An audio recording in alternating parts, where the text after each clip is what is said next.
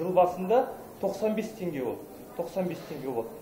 Оны 150 теңгеге көтерді табиғи монополияларды реттеу бәсекелестікті және тұтынушылардың құқықтарын қорғау комитетінің департаменттерінде қоғамдық қабылдаулар жұмыс істей бастады. Ондағы мақсат өз қызметінің ашықтығын қамтамасыз ету және коммуналдық қызметтерге тарифтердің негізсіз өсуіне жол бермеу бойынша жүргізілетін жұмыс туралы жұртшылықты хабардар ету.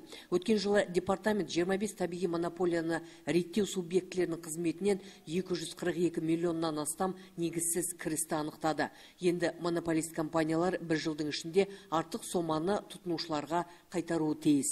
Соның ішінде енді коммуналдық қызметтер бойынша трансэнерго акционерлік қоғамы былтырғы жылы 9 миллионға жуық сомаға негізсіз кіріс табып тауып біз сол соманы қазір бірінші тамыздан бастап өтемдік тариф бекіту жолымен тұрғындарға қайтарып жатырмыз. Әрине тұрғындар бұны бізде өздерінің алған түбіртіктерінен көрмей отыр. Сол мақсатта қазіргі таңда сол түбіртіктерге қайтарылатын сома деген бір жол жасау жол жасау бойынша қызмет атқарып отырмыз. Табиғи монополияны реттеу департаменті облыстық прокуратурамен бірлесіп ақтөбе энергосынап серіктестігінің қызметіне талдау жасады. Бұл кәсіпорынның негізсіз кірісі 122 миллион теңге болып отыр. Ол субъект қазір енді басқа тұтынушыларға алынған соманы қайтаруда яғни 42 тиынға немесе 2,3 пайызға тариф өзге тұрғын тұтынушылар үшін төмендетілді.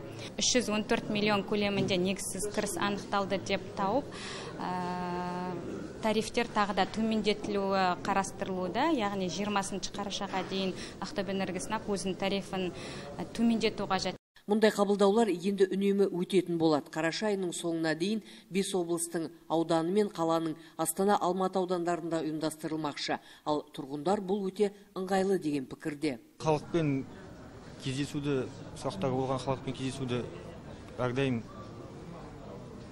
ұйымдастырып тұрған ұйымдастырғаны жақсы болады екен. Иә өте ыңғайлы. Қоғамдық қабылдаулардың жұмыс қорытындысы бойынша халықтың барлық ұсыныстары мен шағымдары қаралады. Венера серғазина жанаділ сағиев ақтөбе телеарнасы.